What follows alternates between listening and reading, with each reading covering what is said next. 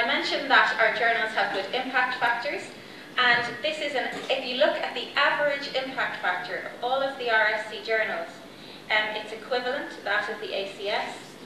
And I think the important thing that you can see here from this slide is that the RSC and the ACS, American Chemical Society, are both society publishers. So we are um, publishers where we really work for the members of the community and of the society. And you can see how that is reflected in the quality of the research that we publish ahead of the commercial publishers, Elsevier and Wiley, and then Taylor and Francis, Springer, and some others. So it really does pay to choose a society publisher to publish your research. Um, just to give you an idea of some of our impact factors, ChemComm, which is our general chemistry communications journal, has an impact factor of 5.5. JAAS this year is 3.4, and I know Mate has been looking at how we expect it to move next year, and we're expecting to see, we, fingers crossed, nice increase. So do keep an eye on the new figures that come out next June. Similarly, for analyst is 3.27. Lab on a chip, which looks at um, microfluidics and other um, work on chips, um, 6.34, and Journal of Environmental Monitoring, which you might be familiar with and also publishes quite a lot of atomic spectrometry in an environmental context, uh, is 2.23. We have been really pleased over the past number of years at the RSC to be able to expand the number of journals that we publish because it is very important to us that everybody who would choose to publish in an RSC journal has the opportunity to do so. And in order to allow people to do this, we have launched 10 new journals um, since 2008. Um, the first of these was Energy and Environmental Science, which you can see here. Um, and all of our new journals are freely available online for two years um, from when they start publishing.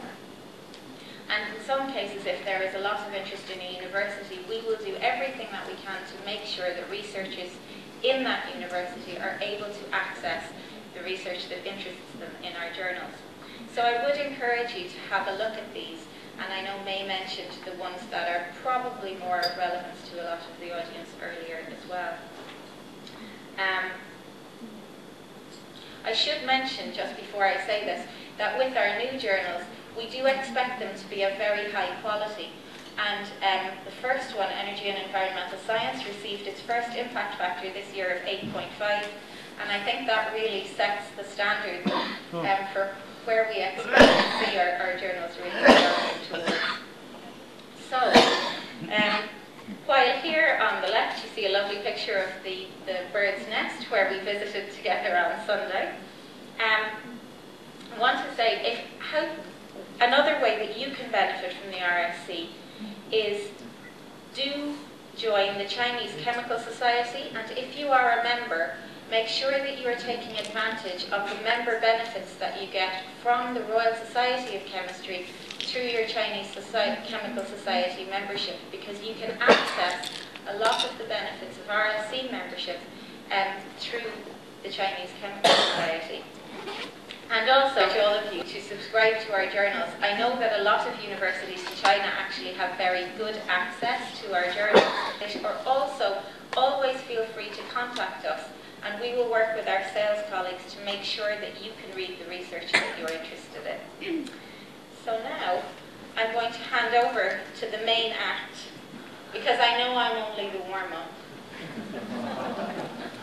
But I'm happy with that, that's all right. Oh, Eve, you did an excellent job. Oh, thanks. You need to know why. I'll pay him later. Be- because before the coffee break, she did not know that she had to present the first part of my lecture, and she did it so well. So give her a big hand. Okay, so I wanted to talk with you now about how to get your work published in, of course, JAAS. So, first of all, I wanted to explain uh, a little bit of the outline. I will explain what editors, for instance, May is doing all the day. Then I will explain which uh, journal you should use or choose, and then I will explain all those people who have never ever published any paper? Is there someone here who has never ever published a paper? Well, I have not presented this lecture anymore because you all know how to publish papers.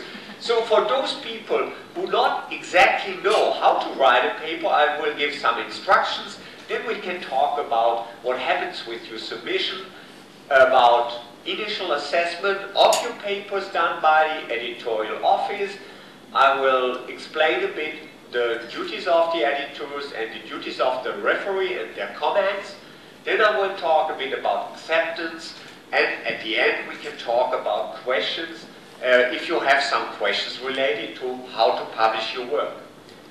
So, what does an editor do? They can answer this question much better than I can do. Their key role in the publication process is they manages everything in the peer review process, from initial assessment to the final acceptance of your paper. They sometimes have to mediate between the referees and the authors if there are some uh, conflicts or some discussions about quality or about uh, some questions you do not understand if you are the authors. They also make the final decision about the publication of your paper. Sorry? Yeah, and they ensure uh, the fairness and quality and they guarantee the quality standards and finally they facilitate the publication of your work.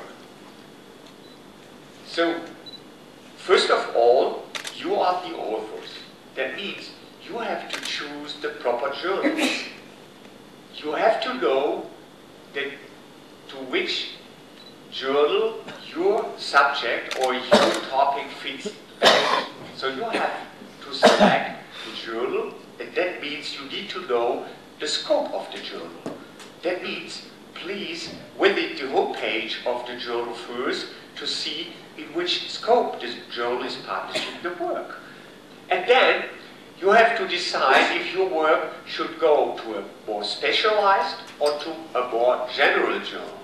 If you wanted to publish your work in Nature or Science, this is a more general journal. But if you wanted to communicate with other people working in the field, let's say ICP-MS people, it's better to choose JAAS.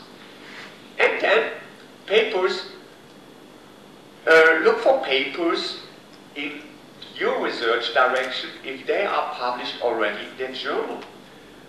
Uh, then you have to make a choice between is your publication a full paper or it's better to publish as a communication? I will explain what is the difference in JAAS between full papers and communication very soon. And then you should have also a look about impact factor. It's important for your personal career at universities or in industry, so impact factor even nowadays counts a lot. And there's another important factor, which is the immediacy index. Do you know what that is? It is an index describing how many citations you get in the first year after publications. So it is telling you how quickly other report authors pick up your ideas and cite you just after publication. And I will tell you soon that the immediacy index of JAAS is the best in all this area of atomic spectroscopy. And then you also have to choose the best publisher and also the best editorial board. I will give you more information about the JAAS editorial board soon. Okay. If you visit the home page of the journal, you will get guidelines for the authors. So please read them properly. And then you will get information about how your article should look like. For instance, I've chosen the structure of a JAAS, a typical JAAS article. It should have a title. The title is the shortest version of your paper. It describes in one sentence all the work you are presenting. So choose a proper title for your work. You have to choose the authors who had contributed. So these are the authors who had done the work or had helped you writing the manuscript. then the abstract is giving all the informations in a short verse. So all the analytical figures of merit should have been mentioned in the abstract at the beginning already. Then there is the introductory part, which is telling people your story. You always have to tell a little story about the work you have done. For instance, Ashley had told you many beautiful stories about the Tasmanian devil and the whales and poo and so on. So you need to have a story in your introduction. And in that story, you have to discuss also what other people have done in this area. So cite them properly. Then you are coming to the experimental section where you have to describe your experiments properly. The idea of the experimental section is you should give other authors all the information they need to repeat your experiment. And if you present only a part of all the experimental details, no one else could repeat your experiment and never would cite you anymore. Yeah? So the experimental section is very important for your paper. And then finally you have to present your results and then start with your discussion what other people can learn from your investigations and from the results. But interpret your own results and in the conclusion then you can give also uh, people a feeling for what this work was good for. So you can present your future ideas in the conclusions. And as I've mentioned already, you need to present references of other authors working in the field and you have to compare your work with the work which is done and you have to point out the novelty of your work in comparison to the work of others. So how to write the article? I've said literature citation is an important part of your article. I've said already, tell a clear, logical, and concise story. It emphasizes the novel aspects of your work. You have to do a comparison with the existing work, but you should not criticize other authors. If you start to criticize me, I will criticize your work as well, and it would never end. Yeah, so we don't start with criticism, but we start with scientific discussion. You can say, I have measured this and that, and this is one order of magnitude better than the work presented by Norbert. But if you say, I'm better 10 times than Norbert, hey, this is not fair. not at all. okay, so the wording is very important for, if you have some criticism, how to tell people not a critical assessment of others' work, but what you did better than others do. Yeah? Okay. Um, yeah, articles. Initial assessment, what the editors look for. Once they receive the article, they first of all read your work and this is, they assess if the work is novel and advance existing knowledge of the subject area you have chosen. And sometimes they always assess the quality if that is sufficient for the journal. Additionally, they look if your paper is within the scope of the journal and sometimes they have to assess also if it is relevant for the readership. What does that mean? if you are presenting a very, very specialized work, there are only two other groups in the world who are interested in your results, this is too specialized. Yeah? And it would not be good then to go to this journal because no one else will cite you because maybe the group who are working in the field are not reading the journal. Yeah? So your efforts are completely lost.